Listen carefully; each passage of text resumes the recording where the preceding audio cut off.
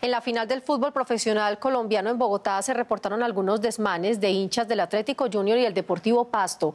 Frente a enfrentamientos como estos, que cada vez son más habituales, cursa un proyecto de ley para regular el comportamiento de las barras bravas, hacer obligatorio el sistema biométrico a la entrada de los estadios y resocialización para fomentar una cultura pacífica son algunas de las medidas contempladas en la iniciativa. Al fútbol en un bien de interés cultural y evitar que se repitan alteraciones, agresiones y muertes que vinculen a integrantes de las barras bravas son algunos de los objetivos de un proyecto de ley impulsado por el senador Fernando Nicolás Araujo del Centro Democrático.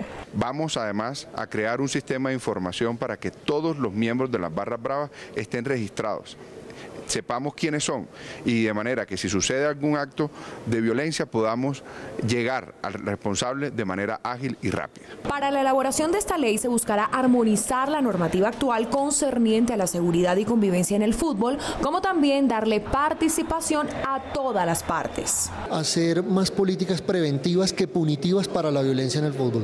Uno de los ejes fundamentales es la resocialización. Nosotros internamente en nuestra organización lo hemos hecho con personas que han sido actores violentos históricos de nuestra barra y ahora son ejemplos a seguir dentro de nuestra organización, incentivando a, los muchachos a no cometer errores que los puede llevar o a una cárcel o a un cementerio. El fútbol como herramienta de transformación social, eso no tiene que ver directamente con los partidos de fútbol, sino el fútbol fuera de los estadios que nos puede generar. Se han dado cuenta que el deporte es un movilizador, que potencializa la convivencia en las ciudades. El proyecto contempla la elaboración de un código del fútbol con obligatoriedad de un sistema biométrico, es decir, que permita verificar la identidad de quien ingresa a un estadio, como también la individualización de las sanciones y el fomento de una cultura pacífica de barras populares.